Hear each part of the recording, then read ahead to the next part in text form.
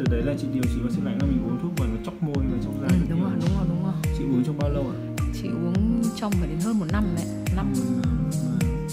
Thế xong chị dừng lại thì nó như nào? Chị dừng lại thì là nó cũng đỡ rồi thế nhưng mà sau hơn một năm này chị sốc quá chị nghĩ nhiều nó lại nó nặng hơn. Ừ.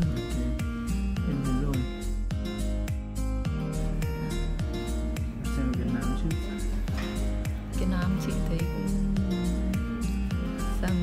đợt thứ bảy thứ sáu thứ bảy thứ tám ấy thì nó nó chậm hơn là sao? Đợt trước thì nó nhanh hơn nhưng từ đầu nó đậm nhiều. Nhưng bây giờ so với cái cũ thì nó đã mơ đi cực kỳ nhiều rồi chị ạ. Rồi